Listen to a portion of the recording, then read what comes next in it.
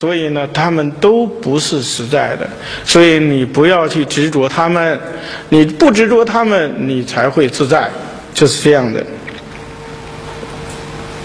那么有一天呢，一个信徒啊，向一休禅师啊就诉苦：“，师傅啊，我活不下去了，哎呀，师傅啊，我现在没法活了。”这一休禅师说：“你看，好好的人怎么就不活了呢？”他说：“呀，我经商失败了，我欠了一屁股债，大家都追着我要，所以我还不起，所以我就活不下去了，对吧？”所以一休禅师说：“说那个，说那可以还钱呢，对吧？你不能说一了百了啊，你不是一了百了的问题啊，对吧？所以说。”一休禅师说了：“除了死，难道就没有别的办法可想了吗？”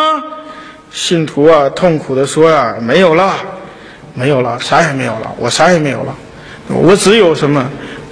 媳妇离婚了，跑了，对吧？只有一个很小很小的一个女儿，对吧？十来岁，对吧？只有那么一个小小的女儿了，对吧？所以啊，身无分文，山穷水尽。”一休禅师啊，嗯，灵机一动，我就说了，说啊，我有办法了。他说什么办法啊？他说你可以把女儿嫁给我呀，对吧？这个，这个，这个，这个故事啊，一般人听起来觉得犯忌讳，对吧？一休禅师解脱了，无所谓，而且他的言和行啊都是相应的，不像今天有人啊净吹牛皮。啊，说大话，做事儿让人很失望，那不行。一休禅师啊，就用这种方法来救这个人，所以我可以做你的女婿啊，对吧？你可以把女儿嫁给我，对吧？帮你啊还债，对吧？这信徒啊摇头说：“他这个师傅啊，你搞错了，对吧？我女儿那么小，怎么可以给你做媳妇呢？那不行啊，也不能嫁人呢。”一休禅师就说了：“那你就把女儿嫁给我，好吧？呀，我我可以帮你，我做你的女婿，帮你还债。”这信徒啊，大惊失色，是不是开玩笑呢吗？你是师傅啊，怎么能做女婿呢？对吧？这这这么弄，那不麻烦了吗？对吧？一休禅师啊，就胸有成竹的就告诉他：“赶紧赶紧，你去吧，不要说了，赶快回去准备去吧，向大家去宣布这件事儿。”迎亲那天呢，我到你家去，对吧？赶紧走，赶紧走，对吧？平时一向尊重，对吧？这个时候也没有办法，对吧？这位商人呢，弟子十分虔诚、虔心呢，虔信一休禅师的智慧。回家之后呢，立即宣布说：“，某月某日啊，一休禅师要到我家里来做他的女婿，做我的女婿。”这个消息一传出去啊，立刻轰动了全城。哎呀，大家就奔走相告。哎呦，这一休但是到底怎么了，对吧？哎，这和尚到底怎么了？当然，今天的日本呢，这个出家人都是有家室的，但是当初是不可以的，对吧？当初还是没有家室的，所以大家就觉得很惊讶，但是呢，又很好奇呀。人都是这样啊，越是惊讶又好奇，好奇就想看热闹。所以到了那一天呐，这看热闹的人呐，围得水泄不通，对吧？这个时候，一休禅师呢，呃，抵达之后就吩咐啊，在门前摆了一张桌子，把那文房四宝放那儿。所以这禅师啊，当众挥毫写字，对吧？这个写完字呢，往旁边一放，大家这看着看哪觉得好，书法家，对吧？然后就开始掏钱买。那个写了一天呢，大家那钱呢弄很多很多，然后一休禅师说：“请问够不够你还债？”他说：“够了。”那好了，那我这个女婿我也不做了，对吧？所以就回去了。所以一休禅师啊，这个袖子一摆说：“好了，问题解决了，这个这个女婿也不用做了，还是做你的师傅吧。”所以啊，再见，对吧？可见呢。这个是要需要智慧，对吧？我们今天，呃，面对一些问题，是不是需要智慧呢？也是需要智慧的。你不能干愁，或者自杀，或者可能自己折磨自己。我想这都不是一个办法，对吧？不妨啊，不妨怎么样想想办法，用佛法的办法来解决自己的问题。我想是可能啊解决的，也是一定能解决的。只要你愿意，对吧？你只要你用心，是完全可以的。一休禅师因为不执着身相，所以以巧妙的智慧救人一命，对吧？胜造七级浮屠啊！所以学佛者摒除诸相，心如清净宝珠，才能以此光明度尽明暗无依无靠的众生。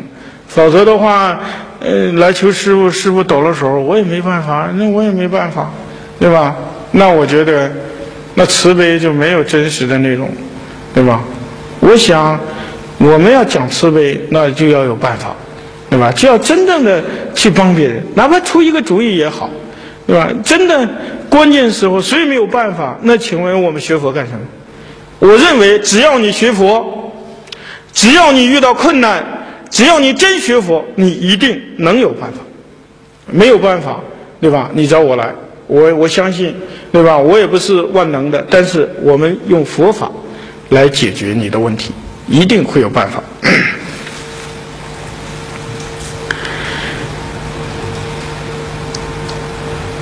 那么此份呢，也就是十四份呢，以五百四做忍辱仙人为例，来警醒世人，警醒我们作为一个。佛教徒的行为应该深解第一般若意志。什么叫第一波罗蜜？就是智慧。没有智慧，你不能忍辱；没有智慧，你根本就没有办法去做功德，对吧？没有办法，对吧？没有智慧，你就不愿意去布施；没有智慧，你怎么样啊？你根本就没有办法。所以有了智慧才是最关键的，叫般若波罗蜜。对吧？心离相无助，不是这个怎么样啊？形如槁木，面如死灰，不是这样的，对吧？应该啊，活得精精神神的，应该活得很有成就，不是低头丧气，不是整天的，对吧？让人感觉到很可怜那伙的，都不是这样的，对吧？应该是怎么样活得？很自信，活得很快乐，活得很自在，对吧？活得很打滚，这样才是真正的佛教徒。同时呢，也不是啊装神弄鬼，也不会求玄呐作怪，对吧？佛教徒经常会有这样的故事，对吧？去找人算一卦，对吧？去那个问问个事儿，然后呢，呃，其实我跟你说，嗯。你去看对方，他那德行，嗯，还不如你呢。我告诉你实话，对吧？你自己要真明白了，我告诉你，死活你都不让他算，对吧？我我曾经有一天，我到课堂去，去去搁那坐着，那天做三十七念，对吧？那我们的这个真出家人，有时候他要面子，要自尊心，要威仪。人来了之后啊，人家问他，他不爱讲，拿着一个纸给人家看。你去看，说句实在的，服务态度不好，真的。你看那假和尚服务态度多好啊！事实上真的是这样。所以我说，你去看看上外边去看看那假和尚，人服务态度多好，你你你咋干的？对吧？人问你，你应该告诉人家呀，对吧？你老端着架子，谁理解你啊？是你是真的，我也知道你真的，你活得特有尊严，你活得特别好。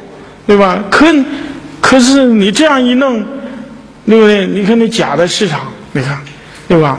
这东西怎么说呀？这假的服务态度好，真的，这个那就那这道貌岸然。你想想，这这是一个反差，这种反差很大。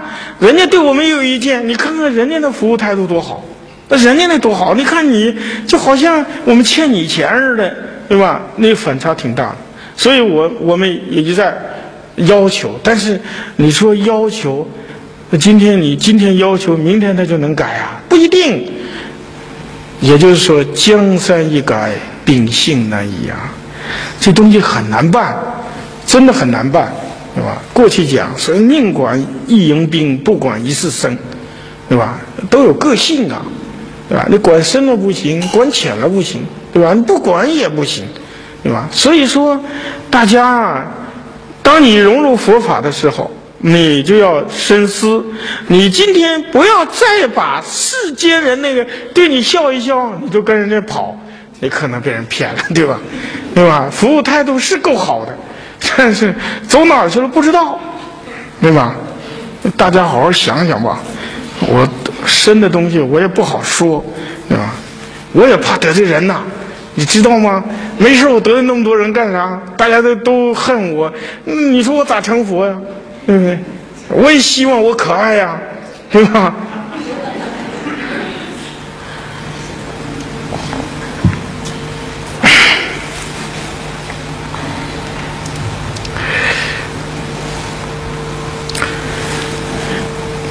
而是于现前违逆之境，就说我们不要装神弄鬼，也不要故弄玄虚，对吧？就是面对现实，不论是顺境还是逆境，我们怎么样啊，都要面对，对吧？众生无理割结身心时，情志分明，啊，无理取闹，对吧？你也要心里的明明白白，对吧？无理取闹的人，你跟他讲什么理啊？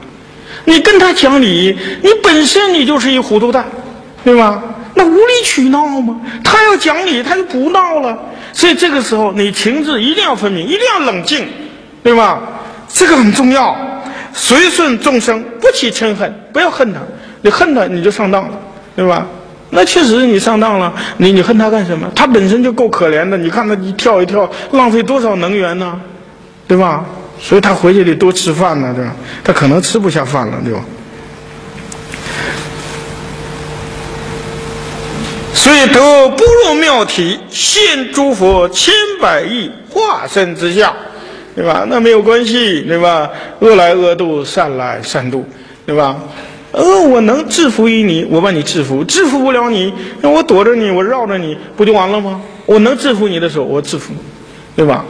那你善善来善度啊！本来他相信因果，他有执着有挂，那你告诉他，对吧？你不要去执着，那他就会受用。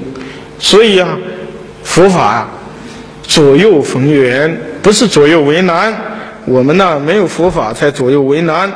所以引渡群机，日日运三十，心寂灭故，对吧？起神通妙用。什么叫神通啊？自在了，般若智慧是大神通，对吧？我神通都不能够引起我感兴趣了。我告诉你，这是大神通，最大的神通。我告诉你，那不是吗？你说你神通，你麻雀飞起来那飞吧，那你你那鱼游吧，对吧？那狗你去闻味儿去吧，对吧？猫你上树去吧，那你上去吧，我一点都不羡慕，对吧？你能看着什么玩意儿？你看去吧。那猫眼睛晚上贼亮贼亮的，那你跟他学啊，对吧？那你你你你你看去吧，我我不羡慕，那你就有智慧了。你非得跟他学，那你学你学完了，对吧？就这么回事。所以啊，《金刚经》是一部至心的宝典。所以我们也曾经说，啊，曾经那一天大家这个三十一念发给大家两叠光碟。两盘，我们的汉传佛教有传承，咋咋个传承？以心印心，传承，对吧？就是要治心，治我们现在的分别心、执着心，对吧？恐怖心、有所得心，就是治心的宝典，对吧？也是成佛修行的指南。那你要成佛，你要修行，那么就治心嘛，对吧？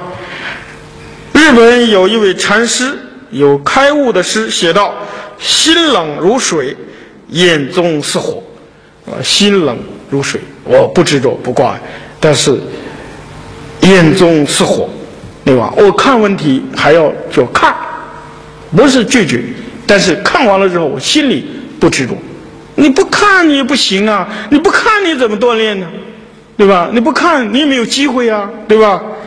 意思就是，我们学佛人要有治水止境世间妄相，对吧？所以，心冷如水，要静下来，对吧？眼睛似火呢，那就是纷纭复杂的相，但不能抱拳手无，成焦芽败种，还要以大悲心、大悲的这种热力来照亮人间，就像你的火一样，你还要看，你还要面对它，但是你还要救人。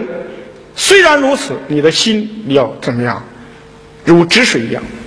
所以你一定要冷静，对吧？要救人，要帮助别人，要去度化人，但你的心里怎么样？如如不动。就像《金刚经》说：“度无量众生，却无有一众生可度。”那就是这里边所说的心冷如水，对吧？眼中似火，眼中似火就是要度量众生。那么心冷如水，就是没有一众生可度。那么眼中似火，就是世俗谛；心冷如水，就是真谛，对吧？世俗谛就是真谛，真谛就是世俗谛。你去分，你去分，分不清，对吧？你去做，一定能做明白。这样才能够把佛法的光明，对吧？带给人间。解决我们现实中的问题。如果我们的佛法不解决现实中的问题，那么请问它还有生命力吗？没有生命力了，对吧？所以《金刚经》处处要我们去掉眼衣。什么叫眼衣啊？眼睛里啊起那个膜膜啊，是白内障吗？对吧？你看什么东西看不清楚，朦朦胧胧的，把那层膜把它弄下去。就演绎，对吧？扔下去之后啊，那离相无助，马上就没有了，对吧？但不是拔无因果，没有是非颠倒的原则，不是拔无因果啊，不是说，哎呀，那佛说了，呃，没有好，没有坏，嗯，没有高，没有低，没有贵贱，没有美丑，对吧？不是没有，只是让你不住在上边。有没有？有啊！世间的游戏规则就在那儿呢。你你本来是个大坏蛋，然后你就说你是好蛋，那怎么能行呢？那也不行啊，对吧？你是坏蛋不行，要改，对吧？但是你虽然变成好蛋了，你依然不能执着自己是好。你如果你执着是好坏，那你还是局限。我说的是实话，对吧？按照《金刚经》的道理就是这样的。而要我们应无所住而生其心，无所住是般若智，生其心是大悲心，对吧？应无所住怎么样啊？你就不执着了，无所住嘛。但是而生其心，那你还要面对现实，对吧？你还要去广结善缘，你还要福在心中，路在脚下，一点点去走。对吧？你不能说我学佛了，我谁也不面对。就像我们前几天说的，说我谁也不见，对吧？包括我家里的人，对吧？我不理他，亲戚我全不理他，我就在屋里闷着，对吧？我说你还闷得住，真是功夫，对吧？那真是功夫。他真的闷住了吗？对吧？真的闷住了，那他就不说这些了，对吧？真闷住，还说这些干什么？那么要开发无限。性德的妙用，对吧？空有兼知，悲智双运，对吧？要性德，那就是那是空性啊，对吧？你要开发，你不开发，我告诉你，你跟他不相应就没有用了。但是悲智双用，那你跟空性相应了，你完成了智慧。那完成了智慧呢？你没有大悲心不行啊！悲能拔苦，帮助别人，这很重要。如车之双轮。鸟之双翼啊，对吧？你你想想，我们今天啊，很多人呢有智慧，但是没有悲心，那就等于车去了轮子，鸟没有了翅膀。但有人的悲心很重，但是没有智慧，还是缺一个轮子，缺一个翅膀，都不行，对吧？所以呀，不能偏废。所以呀，要深知《金刚经》的意趣，就要。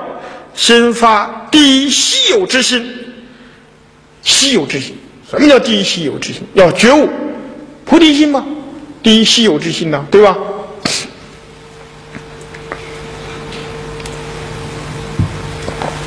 所谓学道容易入道难呐，学道容易入道难呐。你看那个佛那个字啊，是那个单立人儿，人人都具佛性，人人都可学佛，只要你愿意，你就能走进来，就学道容易，对吧？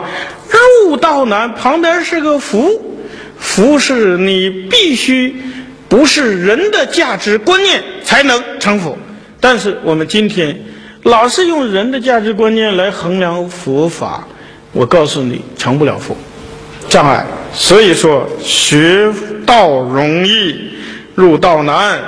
入道容易，守道难呐。你能够恒久的坚持下来，那太难了。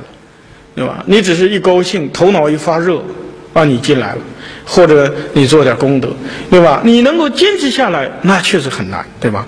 守道容易，悟道难呐。坚持下来啊，有的人也能坚持下来，但悟道啊，没有悟，就是没有醒，没有醒来啊，更难了。醒来的人就更难了。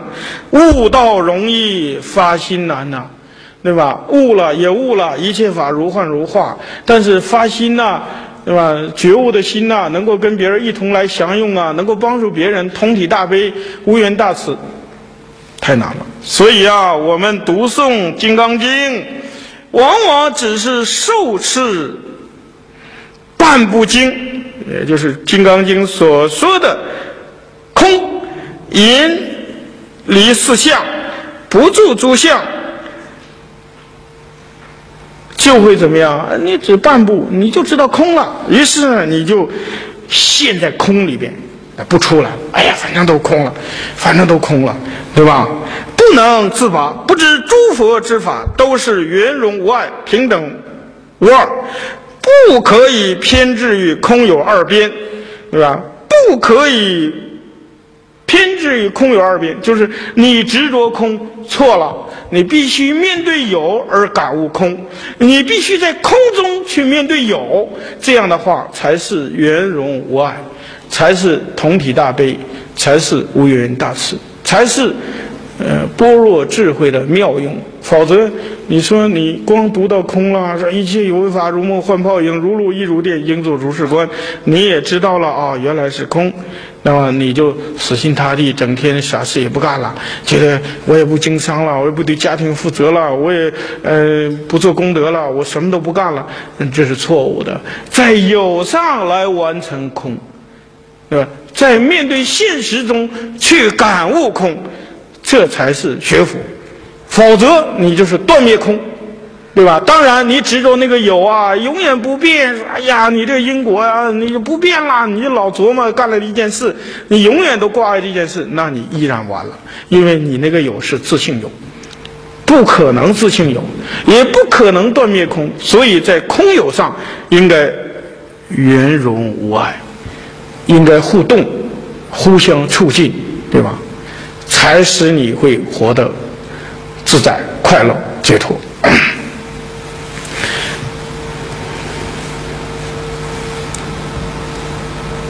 要成就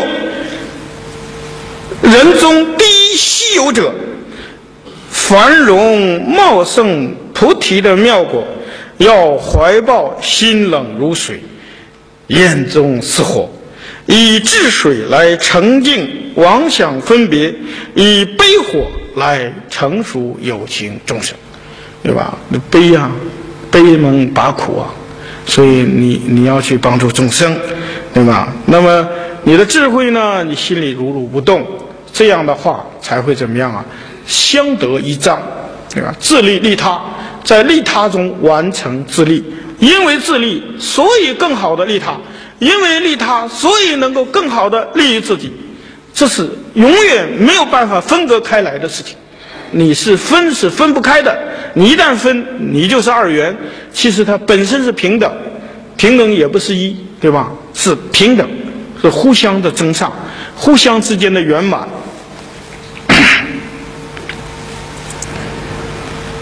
那么这是第十四份，那么让我们走进了《金刚经》第十五份《赤经功德分》第十五。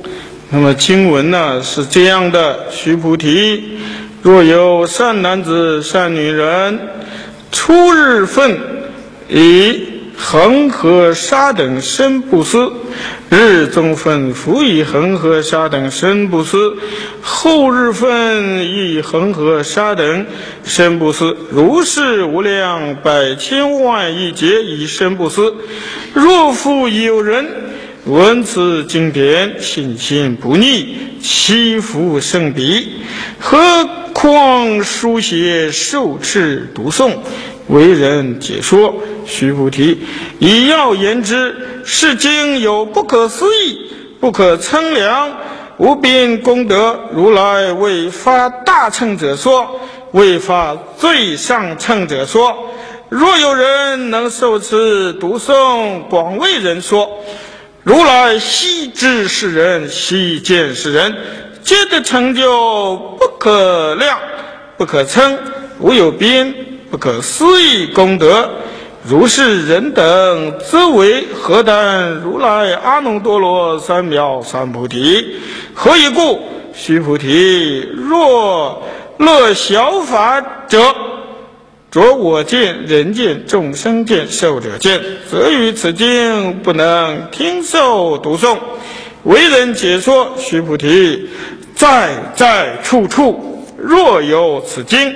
一切世间天人阿修罗所应供养，当知此经则为是塔，皆应恭敬，坐礼围绕，以诸花香而散其处。这个很微妙，真的很妙。告诉我们呢，这个你这个布施啊，还是要完成圆满的布施。完成无漏的布施，而不需要有漏的布施。着相的就是有漏的，对吧？那不着相的就是无漏的。经文的意思是说，佛陀呀，为了进一步说明持经的功德，对吧？你你以为持《金刚经》，对吧？会怎么样呢？有功德，有大功德，对吧？那么持《金刚经》的功德。佛陀啊，就打一个比方说：“须菩提呀，如果有善男子、善女人，在早晨之际，早晨起来的时候，以恒河沙等布施；中午之际呢，又以恒河沙等生命布施；夜晚的时候呢，也以恒河沙等生命来布施，对吧？”早晨、中午、晚上，都以恒河沙那个数目无量无边的、数不过来、数不过来的那么多的生命去来布施，身体和生命来布施，对吧？如此一天三次布施，经过了百千万亿劫都没有间断过。啊，经过了百千万亿劫、无量无量的劫，对吧？都不间断，从不间断。这个人所得到的福德，真是难以称量，没有办法去计算了，对吧？我们今天想想看，我们第一个福报很小，第二点呢，我们的生命呢很短暂，第三一点呢，我们自己的发心很有限。所以我们就没有办法同这个去比，而我们不不没有办法同这个去比，就更没有办法同佛的那种圆满的布施去比了，对吧？所以我们都需要一个对照。既然我们没有办法同佛的这种有相的布施这么大的布施去比较，但是我们终究可以选择读是《金刚经》不着相的布施。完全是可以的，完成圆满的布施。但是如果一个人他只是听闻了这部《金刚经》的经义，能够深信不疑，悟得般若空性，对吧？你你深信不疑了，你能够悟到空性啊？那会怎么样啊？发心依教修持，啊？你得修持啊！你闻到了。听到了，相应了，法喜充满了，怎么样？发心依教奉行，去修持，对吧？那么他所得到的福德，胜过以生命布施的人。而且生命布施，恒河沙数，无量无边，呃，无量阿僧祇，对吧？你想想看，这个数字没有办法衡量，没有办法去称量，对吧？胜过这样的人，更何况将此经书写、受持、读诵为他人解说的人，对吧？所以法师是最不吃亏的人，啊，法师是，对吧？法师占了大便宜。对吧？你想想，更何况为他讲此经啊，去书写，那么去印的人跟书写应该是一样的。那么受持，对吧？你亲自去读啊，去受持啊，那么读诵为他人解说的人，为他人呢解释啊，都是假的，你还执着什么？对吧？一句话点醒了梦中人呢，对吧？那功德无量无边，对吧？他不但明了自己的本性，更能够使他人也见性。有人说见性啊，怎么样见性？这就是见性，见到空性就是见性。你是空性，我也是空性，大家都是空性，就是见性。理论上是这样。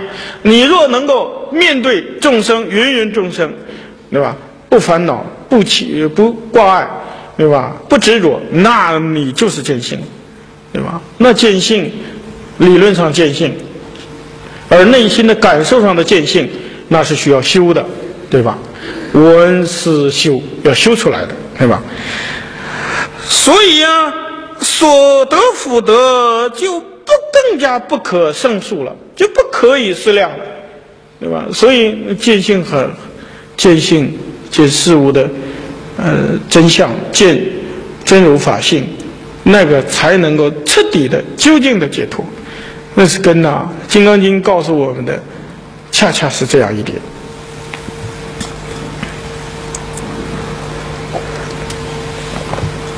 须菩提啊，总而言之，这部经所具有的功德之大，不是心龙所思、口所能译、称所能称。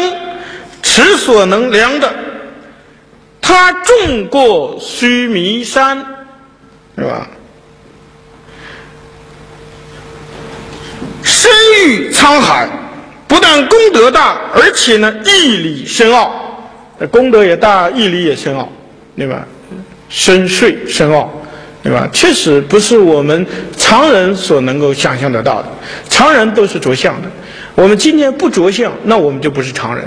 对吧？所以说它深奥，是如来单独为那些发大乘菩提道心的人，以及为那些发最上佛乘的众生而说的。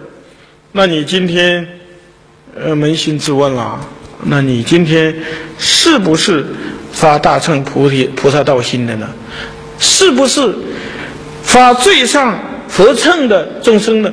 那应该说你是，要不然的话，你不会坐在这里，甚至我可以说，你不会坚持坐在这里，对吧？你可能听了几分钟你就溜掉了，因为你会觉得这是啥呀？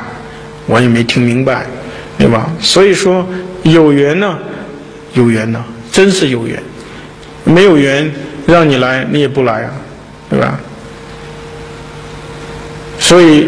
有缘是很难得的，是修来的宿世因缘呐。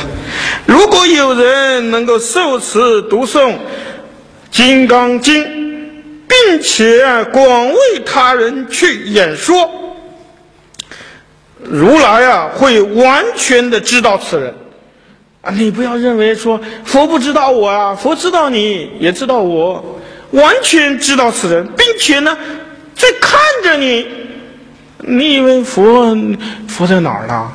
佛在心里，佛在当下，对吧？佛就在你身边，只是你无缘见。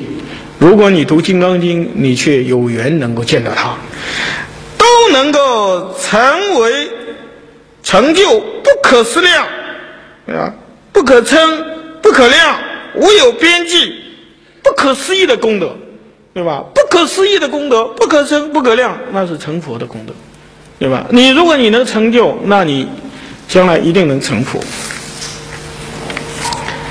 只有这样具备般若智慧，而又能够读诵解脱解说经义的行者，修行人，对吧？那你读《金刚经》，你也在修行，对吧？你接受它，你消化它，你改变自己，就是修行的过程。那么这样的修行人才能够承担如来无上正等正觉的家业。我告诉你，最富有的家业就在这儿了，对吧？你如果能，你就能够承担如来家业；如果你不能让你承担，那你也接受不了，你也会误了大家，对吧？为什么须菩提啊？一般乐于小法的二乘人，执着我见、人见、众生见、寿者见，对吧？一般乐于小法的人总是比较局限、比较狭隘，老是认为我我要成阿罗汉，我要解脱，对不对？我见，对吧？那么人见呢，是我要帮助别人；众生见呢，芸芸众生，对吧？他总是在分别着；寿者见呢，寿命的长短。他总是在分别着，对吧？那么，对于不仅仅寿命的长短，宇宙万有存在的时间也是一种寿者相，对吧？那么，对于此部大乘无相无住的经典妙义，就是《金刚经》的，对吧？空无相无作，三解脱门是无法相信接受的，小乘人没有办法接受，那么？请问我们这些人能够理解、能够接受吗？这个很很画一个问号，对吧？因为不仅仅是坐在这里听，而且真的要消化，真的需要受益，真的要去行动，对吧？才是相信接受的一类修行人，更不愿意去读诵，更不用说为他人讲说了，对吧？那很多人并不愿意去读《金刚经》啊。并不愿意去读诵啊，并不愿意为他人讲说呀。当然，为他人讲说需要自己受益之后为他人讲说。如果你没有受益，你会怎么样啊？你可能就会变成这样，变成什么样啊？干坏事了，安慰自己，反正都是假的，反正都是假的。干坏事为干坏事找借口，哎呀，那是非常可怕的。我告诉你，真的很可怕。或者呢，对吧？不负责任，反正都是假的，我不负责任，那也是很可怕的。在缘起上通达性空，在性空上要感悟缘起，所以要承担，要负责。佛教徒不能耍滑头啊！我告诉你，很多佛教徒很滑呀，那滑不留手，抓都抓不住，对吧？这这个不行啊！要承担，要负责任，对吧？为法忘躯，那你你你才是承担啊！弘一大师说：“殉道应流血。”你流过血吗？你没有，但不需要你流血，对吧？你真的能承担就好了，对吧？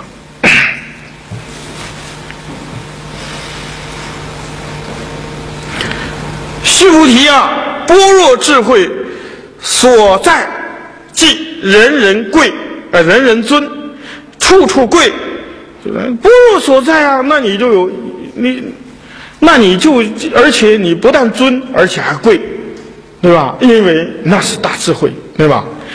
可见呢，无论何处啊，何时，只要有这部经典所在的地方，一切世间天人阿修罗都应当恭敬供养，对吧？经典所在之处，怎么样啊？天人阿修罗都应当恭敬供养。三善道的众生都应该恭敬供养。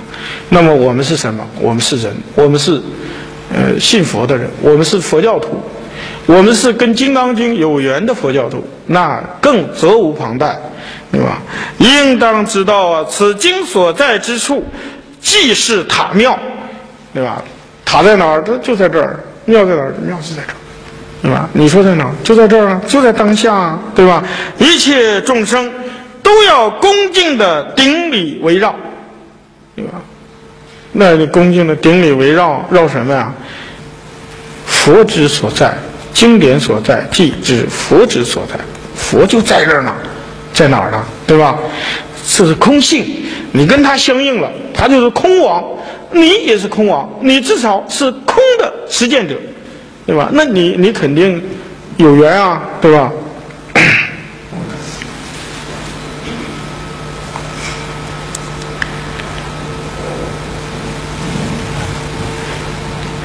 一切众生都要恭敬的顶礼围绕，以芳香的花朵散其四周，虔诚的供养，对吧？我们也发现了，对吧？那么供养之中呢，有香花灯土果药，对吧？那么很多人呢，这个初一十五啊，平时这个上馒头上什么，这当然是供养，呃，是一种食物供养。那么还有香。花也是一种供养，而且这种供养就是代表我们的心，呃，代表我们跟《金刚经》去相应的那颗无所得的心。那个时候，你和《金刚经》完全的融入了一体，那你是真正的受益者。为什么让你重视？那种无所得的布施，而不是去执着用一个局限的、狭隘的数量去计算的，哪怕不可增、不可量，依然是局限、是狭隘的。你终究不能够完成无所得的那种不着相的布施。所以，而无所得、不着相的布施，才是我们修行的最高境界。完成一个不着相、不执着、没有挂碍，那你才是真的大自在。以前所讲的十三分钟，就是我们所说的《金刚经》啊，这个第十三分钟啊，佛陀曾以恒河沙等生命布施和受持四句偈等比较，比较他们之间的功德。那么进入第十五分，当然了，那受持四句偈的功德当然要大得多了，那么不可思议，对吧？那么进入十五分。此分之中，为了更显明受持经济的功德，佛陀以有人每日三分，早中晚嘛，对吧？用恒河沙数的生命来布施，且历经百千万亿劫不断，对吧？那我们每天呢，都以这个 这个呃，用恒河沙数的生命来布施，对吧？不施呢，而且经历百千万亿劫，而且不间断，一直坚持下去。那么，如此无量无边的生命布施，仍然比不上受持《金刚经》的功德。大家好好算算账，对吧？你算完账之后，你打算怎么办？你的生命有限，对吧？你不可能保证说你一直在进行着，对吧？早中晚，对吧？无量的恒河沙数的生命不死，而且一直能够坚先坚持下来，你不可能这样做，但是你却能够怎么样啊？受持四句偈，那你可以啊，这个你很容易就做到了。当然，这个因缘也不是所有人能够做到，对吧？我们闻到了，觉得相互比较之下，我们应该选择受持《金刚经》四句偈的功德。那么，佛陀反复以七宝等生命布施和受持四句偈者相互比较，主要是建立在大家对于般若功德的信心。大家，你你要知道，你要建立对于般若的信心的一种建立。原来她是佛的母亲，对吧？你要成佛，你必须。依靠这样一个母亲，你才能够完成一个脱胎换骨，你才能够重新的生出来，对吧？当然这不容易，但是我们有希望。这样信心的建立，只有这样如是，助信心清净，对吧？你的信心才会清净，你才会如如不动，百折不挠。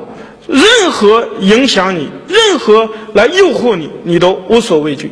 那现在我告诉你，你在读《金刚经》，那么你本来说因无所住而生其心，那边对吧？怎么样？那边说呀，这个高僧灌顶，那个大德来来怎么样的？你马上跟着跑了。请问，你能够同须菩提去比吗？须菩提说到佛道，道立天为母说法，回来那一天，对吧？那么莲花色比丘尼第一个冲出去，跑得最快，然后顶礼佛祖。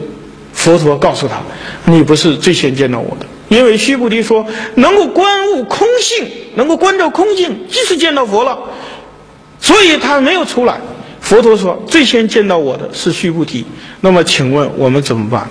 我们是不是也应该最先见到佛呢？对吧？不要去东奔西跑，盲修瞎练，应该反省，对吧？因为我觉得讲《金刚经》讲到今天，这句话要讲，对吧？那不讲也不行。当然，你说你还要练一练也可以，那你出去练练呗，对吧？我就怕你练的，对吧？不知东南西北，晕头转向，这恐怕就是这样啊。所以大家怎么样？要注意，要慎思啊，慎思啊。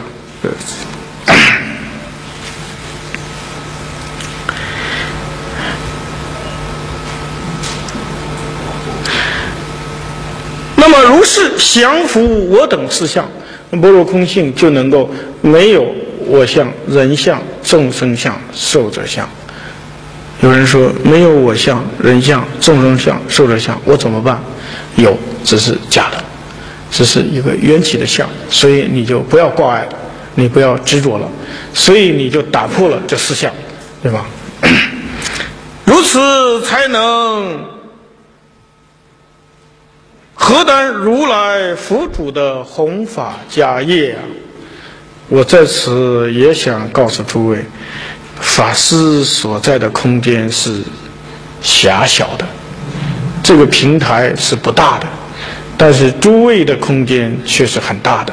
尽管你个人的空间很小，但是每个人的空间空间加起来却非常之大，所以你们是什么？你们是种子，你们是火，你们可以去生根，你们可以去发芽，你们可以去传播，对吧？你们一定能，因为法师在这里边就是做一个基础的这样的一个训练，你们是需要怎么样？在身体力行，在你的现实生活中，跟你的有缘人去怎么样，用身体、用力行、用口说去影响他们，对吧？我觉得这非常之重要。法师的力量比较小，不论法师对吧，有光盘也好，毕竟影响的人群比较狭隘，对吧？但是人的力量却很大，对吧？与其让我们传播是非，那么为什么我们不去传播佛法？对吧？这是一个问题。传播佛法，功德无量；传播是非，肯定是轮回堕落。那我们为什么不去传播佛法？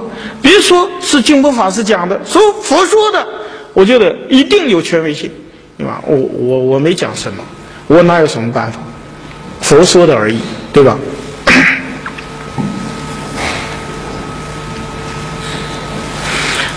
就四点呢，呃，那么。这一分呢，也分四点呢来探讨。第一点呢，一劫舍命不如尽信，对吧？你这个百千万亿劫，你把自己的生命都舍出来，你不如清净的信心建立，对吧？第二点，微妙般若贯通全实，这个般若啊，智慧啊，非常之微妙，它贯通全实二智，根本智和方便智，对吧？三乐二乘法，不入究竟。二乘法，你执着那有有漏的人我啊，执着这个我相、人相、众生相、寿者相，所以呢不圆满。第四，般若佛母，天人礼敬，所以般若是什么？般若才是佛的母亲。如果你没有般若，你说哪是大法传呢？般若波罗蜜才是大法传。有人瞎说瞎讲，那是要负责任的，对吧？那我们今天对照《金刚经》，就告诉你，法传就是般若波罗蜜，不是别的东西，对吧？而且般若波罗蜜是要靠你去与之相应，不是今天说一说就完了的。所以你要清楚这一点。那么所谓日日三分过无量劫，以恒河沙等生命布施，此布施之功德。福利虽多，仍堕三界有为的业报，有没有？有功德都有，要福报，呃，真有福报，但是仍然狭隘的在三界内，很局限的一个这样的一个圈子里，啊，顶多升天了，啊，要不就堕落了，在这里面转悠，所以是有漏的，所以是三界有为的业报，不如也有人闻此经典，一念信顺，就是你要相信他，你要去恒顺他，跟他去相应。解般若无助之妙，能能够消化，能够理解般若般若空性，不执着，不住在任何一法上的微妙境界，对吧？那如果我们能这样做，那你真的是不是凡人，对吧？否则那都是瞎讲乱说而已，对吧？此分再次肯定。般若无相无住，啊，为什么无相无住？因为没有实在的相，所以是无相。为什么不住？因为你根本没有办法住在上面，因为一切都在变化，所以要无相无住。